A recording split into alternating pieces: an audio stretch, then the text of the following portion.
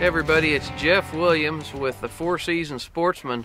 Today we're going to be out here doing some uh, catfishing uh, here on Grand Lake in northeast Oklahoma. And one of the things I wanted to show you how to do was catch shad. Now, um, what we're experiencing right now um, here on Grand Lake is a flood of the century almost. It's uh, the end of December. Well, this is actually New Year's Day 2016 and uh, we just had a tremendous flood here in northeast Oklahoma and, and uh, southwest Missouri. And uh, we're going to be out trying to catch some wintertime blue catfish today, but the first thing we have to do is try to catch some shad. Now, I'm going to be using my Garmin equipment to locate shad, and then I'm going to be throwing a shad net uh, on top of those fish, or on top of where I think the shad are. I'm going to start the boat, and I'm going to show you what I think the shad are. Now, listen to me on this tip, folks. Uh, we'll probably put this on the Team Catfish YouTube channel too. In muddy water, it doesn't matter where you're at. When you get a flood, the majority of your fish are going to come to the top. They feel more comfortable in this muddy water. They're not going to be down nearly as deep as they are when it's clear. Doesn't matter what season it is, when you get a flood, the fish are going to be a lot shallower than they are when the water's clear and during a normal normal conditions. So remember that. Now I had no idea when we put our boat in right here that we were going to find shad right by the boat ramp. And I still haven't caught any shad, but I'm going to go over here and throw my shad net. We're going to see if we can get some shad so we can get out here and try to do this fishing. Remember that tip. In muddy water, a lot of times your bait fish will be shallow and your game fish will be in shallower structure a lot of times too. Here we are on the color sonar, and here we are on the down the Garmin down view. See when you see these big bright clouds right here, that's where your shad are the thickest, and that's where I'm going to throw the net. Try to get them right up on top of that. If you teach your kids how to run these boats, um, they can sure help you. When you're throwing a big shad net like I'm throwing, you want to make sure you always throw this big shad net with the wind, folks. You can't throw a big shad net against the wind. You just cannot do it. So have the have your kids or whoever's driving the boat circle the bait fish and then throw your net with the wind. Okay guys, now if you're out here in the winter time, please wear a life jacket when you're throwing for shad. It's not a bad idea to wear a life jacket all the time, but if you're throwing for shad, the deck gets slick and you can fall in the water so easy. Put your life jacket on when this water's cold. Now, uh, I got my two boys. Hayden's running the camera. Owen, my boy here, he's going to be helping me film today. He's going to be uh, helping me catch some fish. Let's see if you, let's see if they can put you on some shad right here. Let's get, let's get in here and see if we can find the shad.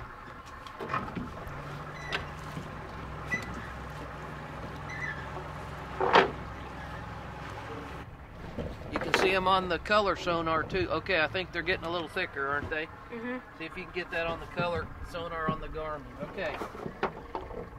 All right, I'm gonna throw the net. Put it in reverse.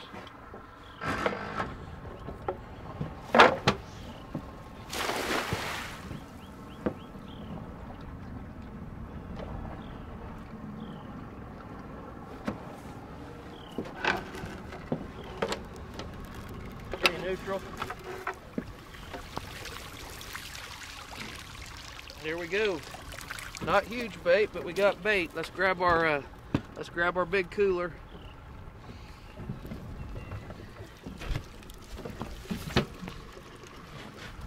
Open it up right there on the floor. I'm gonna dump them in there.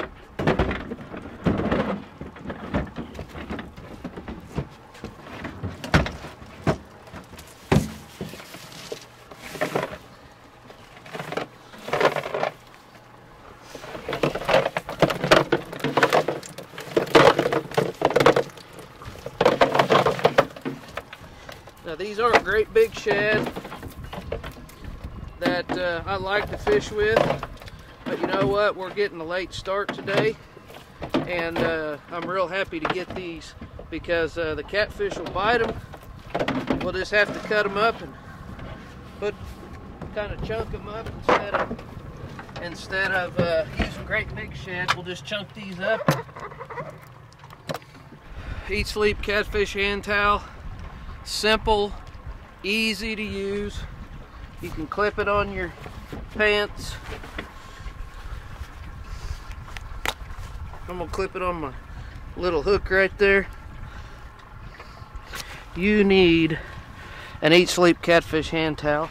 You can wipe your nose, wipe your hands, and folks, this we're in the uh, G3 Sportsman 200 today, and it's got a great uh, anchor storage, or you can put your cast nets, your shad nets up here.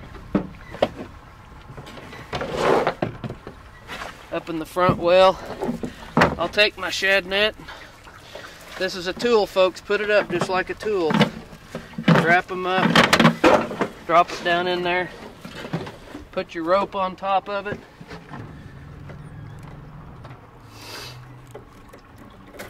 And you'll be ready to go the next time you're ready to go catch some shad.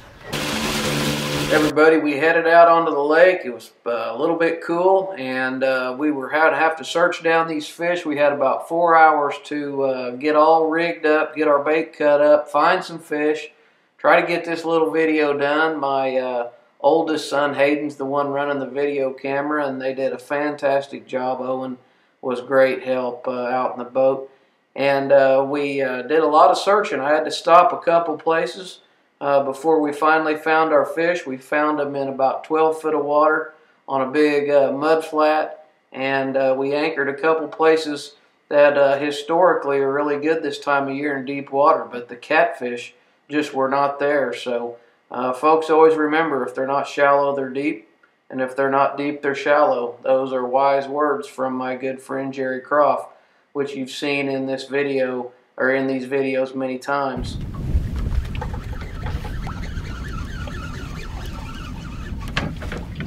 Okay. Fish one.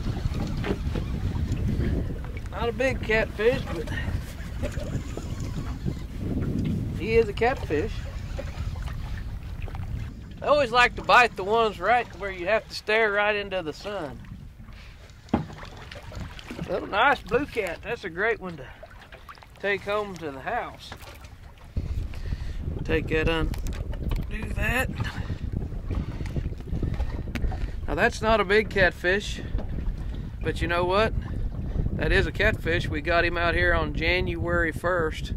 That we're in 12 foot of water now. We just pulled up to some of these old bushes, these flooded trees, and uh, we've had a lot of bites, but I think a lot of them are channel cats. A lot of times your channel cats will peck, peck, yank, yank, peck, peck, yank, yank, and and this little blue right here, he just swam off and grabbed it and swam off. So we're going to put another uh, hunk of shad out there and see if something bigger comes along.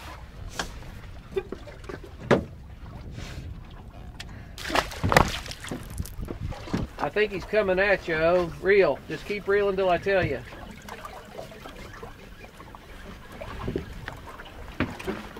I think you I think he just brought it at us, bud. I don't think we got him. Reel it up, we'll get us a fresh bait out. You don't have any of this in your boat. You really need to. This is a brand new bottle. I just used my other bottle all up. Turns that old bait nice and bloody again. Put some scent on it. We're going to cast it out there and fish with it again.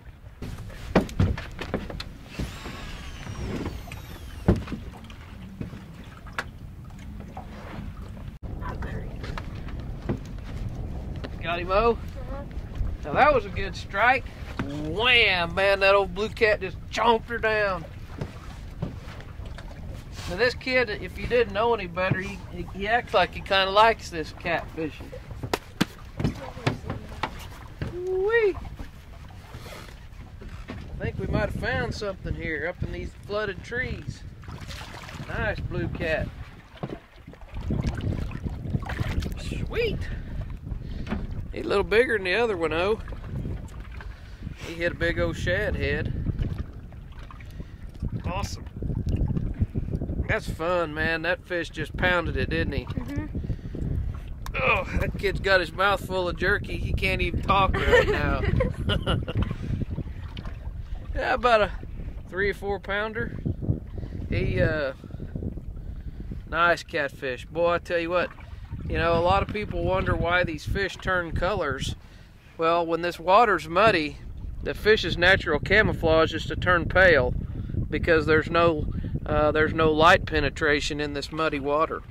If you would have caught this fish in clear water in about 12 foot, his back would be slate blue, and his bottom, his body or bottom belly would be uh, would be white or light colored. But when they're up here in this shallow, muddy water, they turn pale like that. A lot of people call them white cats, but they are blue catfish, and we got a lot of them here on Grand Lake. We're not blessed with just lots and lots of big fish, but we got a lot of fish that are fun to come out here and catch, and they're fun to go home and eat. So uh, we got a 15 fish limit here, and uh, if I was in the mood to clean fish tonight, we'd be having catfish sandwiches tomorrow.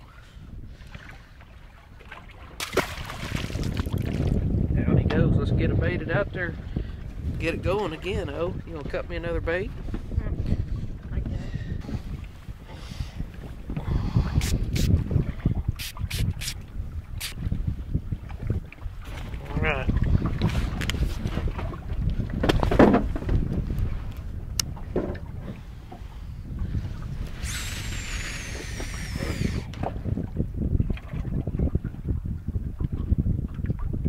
Handle a few more hits like that. Man, he just waylaid that thing.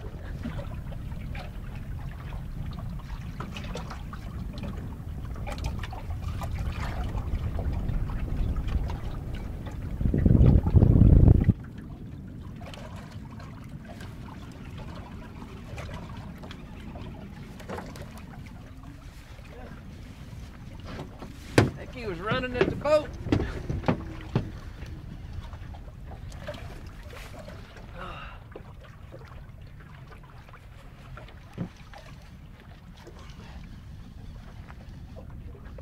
Well, he's not Moby Dick, but he's a catfish.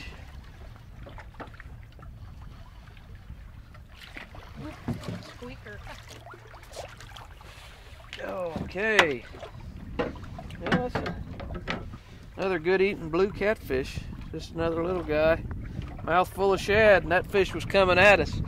You've seen you've seen me uh, reel up there and hook those fish what I'm doing with our double action catfish hooks is I like to reel down and hook set those fish rather than stand up and try to catch them. And what you do when you do that is you don't uh, you don't jerk your bait off. So if I don't catch the fish, I can put the bait back on there, and uh, or I don't pull the bait off when I stand up and hook. Reel, reel, reel, reel the rod loads up and when it loads up you put about two more good turns on them and these good uh, this is an 8 double action right here. Uh, they will get them bingo.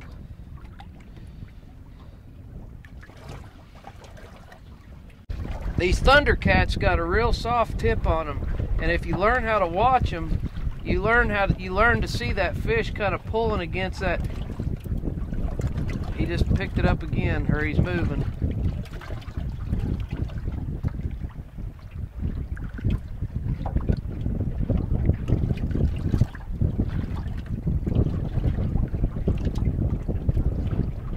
Reel down, get him, oh. I think he's there. I think he's coming at us. Get him? Yeah. All right. I think that fish was coming at us. Sometimes when they don't pull the rod over and they just come at you, they're just pull they're just pulling that line through that sinker slide. You got to really watch what's going on. He's a little bigger. Is he? Good.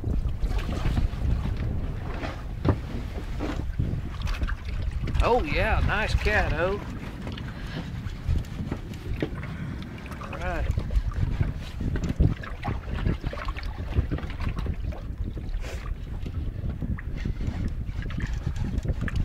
Ooh, right there. Oh, oh yeah. Look at that mean fat rascal. Got him. Got the fish grip right here. Oh, he's hooked in the bottom jaw. There we go. Oh, yeah. There's nothing in the world wrong with that. He's a little bigger too. Is he bigger too? Not bigger than I don't know. That's what I'm talking about. We'll just uh, put him in the water with the fish grip and that. I got that other line. keep keep it on him. Show him who's the boss, boy. You got the power. Hey, watch the anchor rope back here. Oh. That's okay.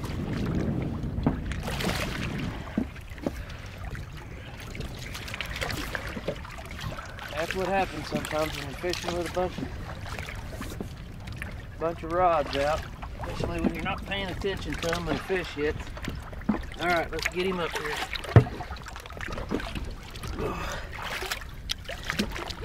Here, here.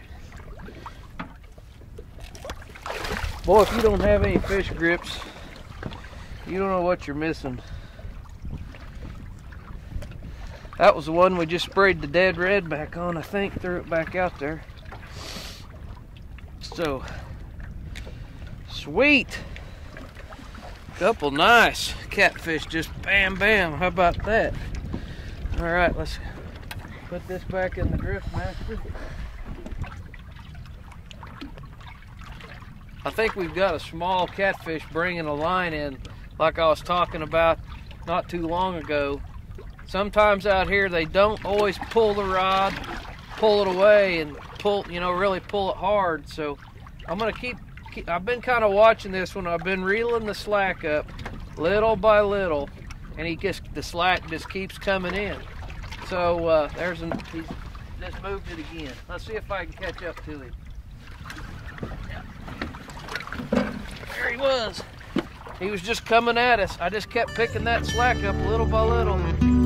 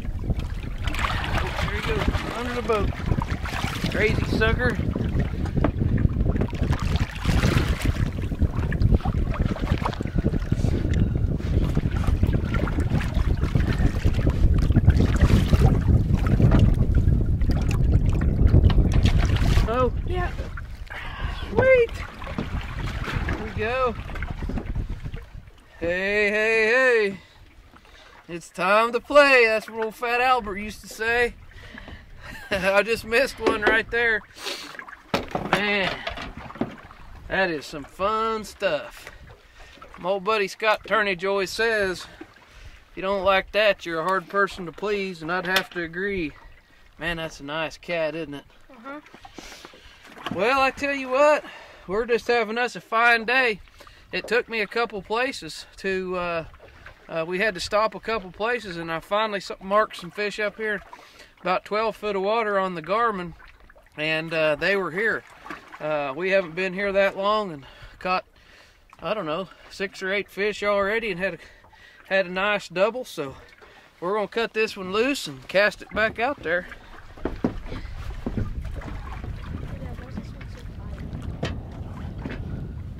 All right, Mr. Blue Cat.